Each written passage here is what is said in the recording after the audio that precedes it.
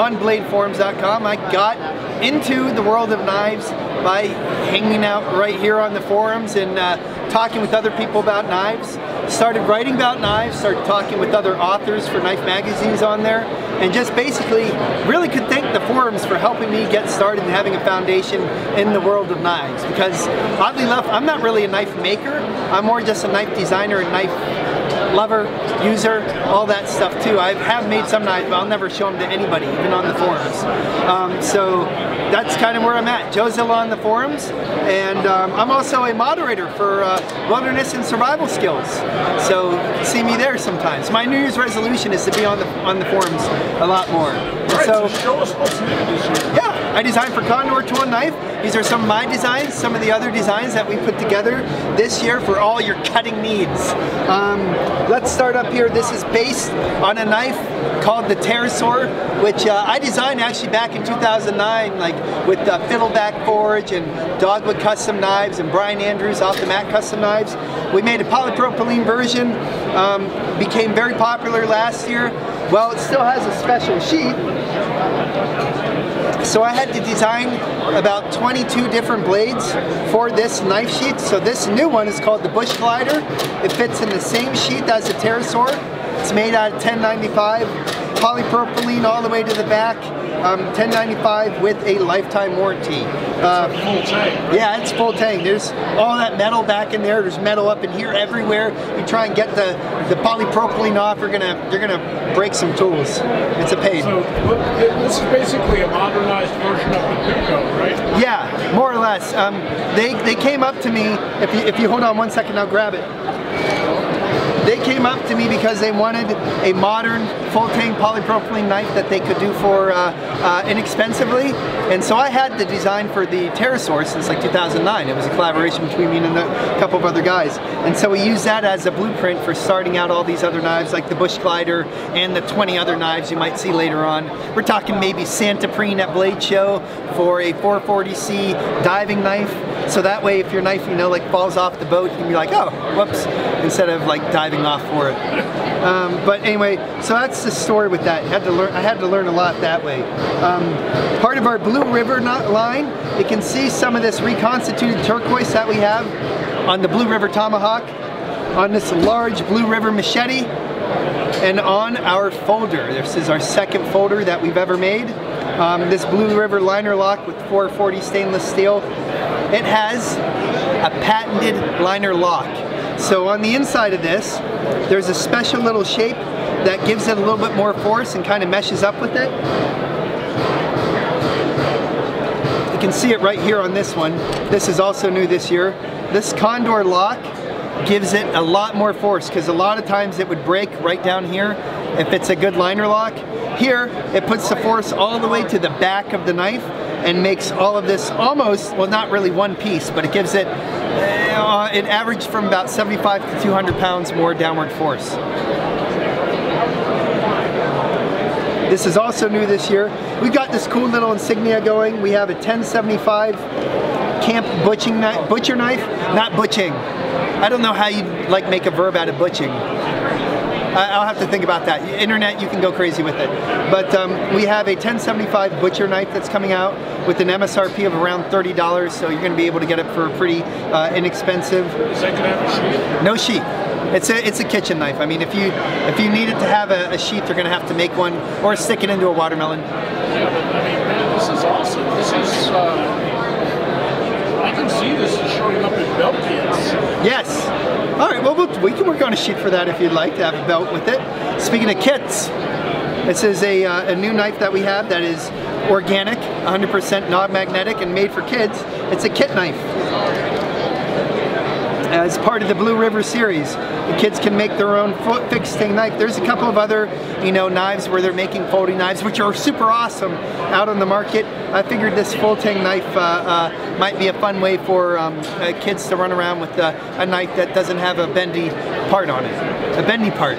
So you had some of that knife knowledge going on there. Julio Diaz. Julio! Julio Diaz. He's a knife maker. Do you know him real well? I'm, uh, we're Facebook friends. Awesome. Well, he also designed some of the sheaths for us. He designed some of the knives. He has the Talon that came out in 1095. He has this Camp Chef with a notch on the end for picking up some, for picking up bales on the end of your camp pot, or or maybe I, I'm trying to think of like a really cool thing for this. You're gonna throw it at someone's someone's bike bike uh, wheel and make them get caught up so you can take them off of their bike. Yeah, totally. Don't do that in real life. That could really hurt somebody. Use it to break uh, barbed wire. Yeah, yeah, and there you go. Go back and forth bending the barbed wire, for sure. Blue Havoc, this is a new knife design for me. I tried to break a couple of the rules that I normally have and made for a, a wider palm swell. It actually turned out very ergonomic. I'm pretty proud of it. We're making our own micarta in-house in El Salvador, so now we're adding two pieces together with liners. You'll see liners on some of the other knives, like this Walter Matthews designed Bisonte. Um, this is 1075, 1095 on the Bisonte.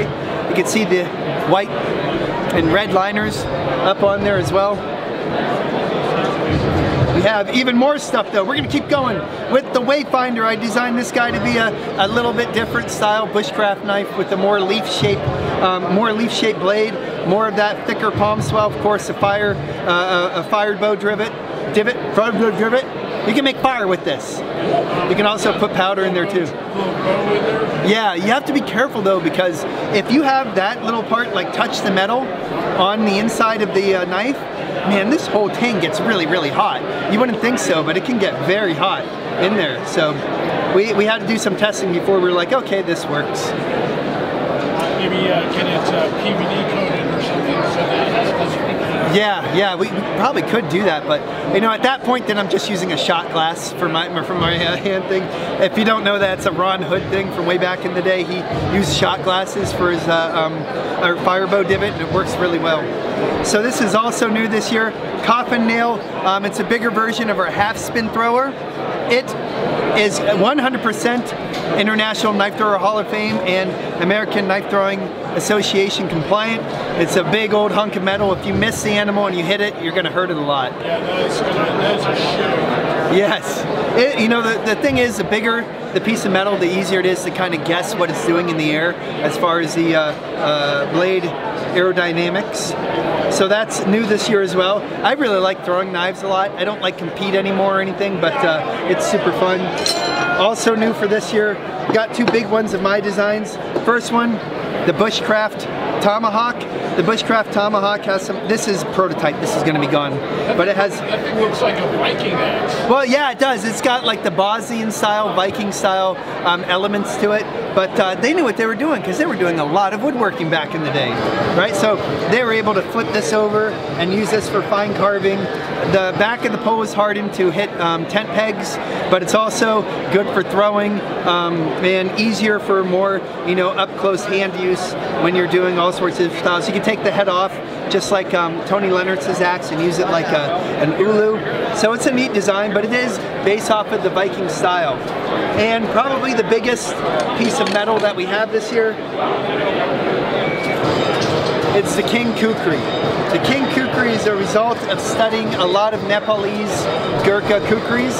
Um, we have a tapered tang on the back, skeletonized with what you would call a chirra, C-H-I-R-R-A, and you can find this out more on the forums because I believe we have a pretty cool, um, we have a pretty cool Kukri forum um, on, our spot too. But the chirra is a long giant fuller, basically, and that really gives it a lot more balance.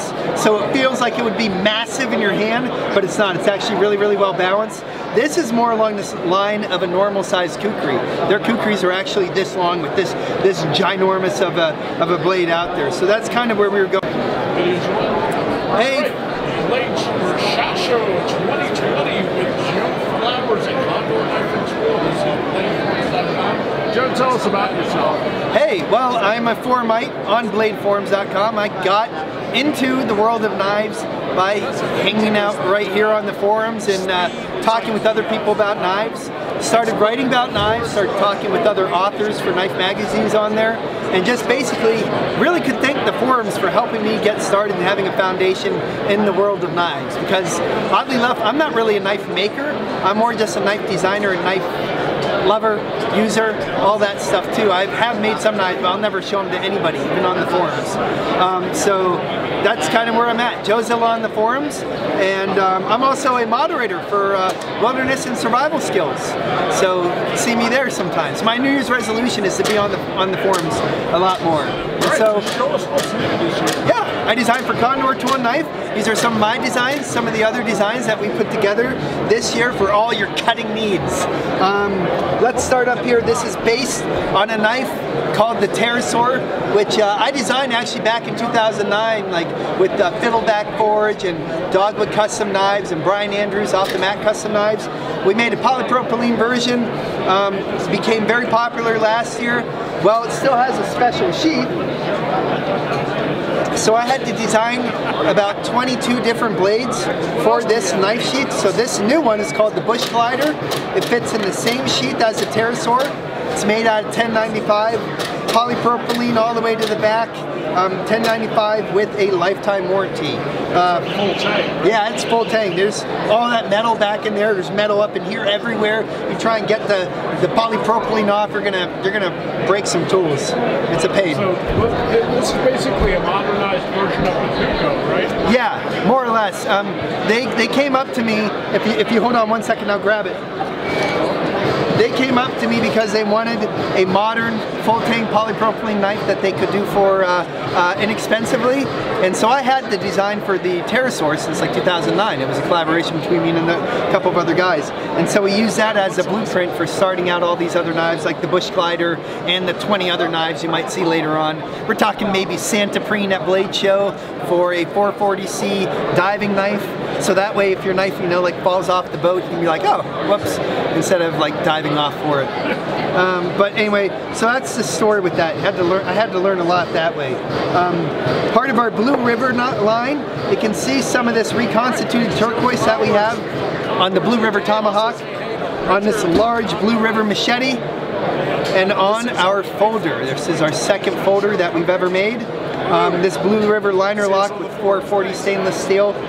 It has a patented liner lock. So on the inside of this, there's a special little shape that gives it a little bit more force and kind of meshes up with it. You can see it right here on this one. This is also new this year.